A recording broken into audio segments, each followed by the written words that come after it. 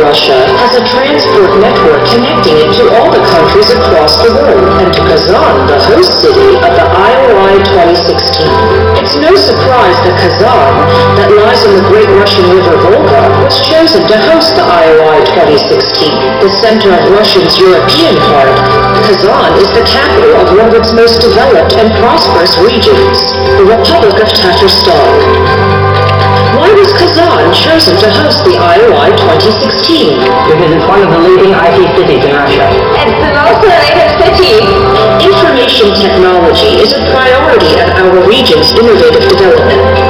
IT has intensively penetrated into all the spheres of our everyday life. Kazan has a technology park for IT developers and hosts major IT events annually. This year, a new satellite city of Kazan, Innopolis, welcomed its first citizens. The city was specially constructed for IT professionals and has advanced residential infrastructure, unique ecosystem, and a cutting-edge university, offering ample opportunities for education and professional development.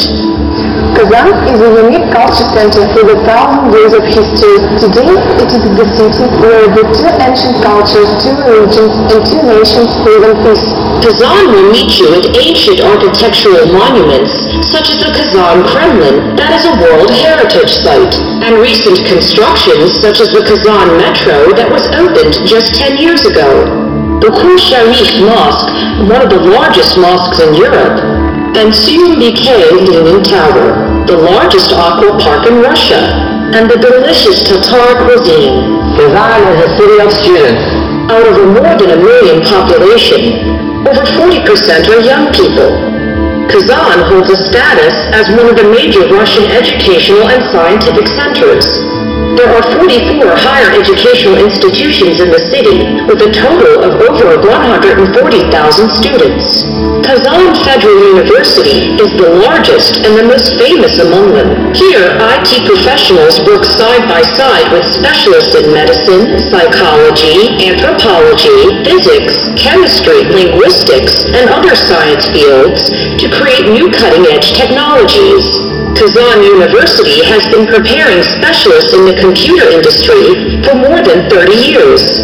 An innovative faculty for IT education of the highest quality was opened five years ago.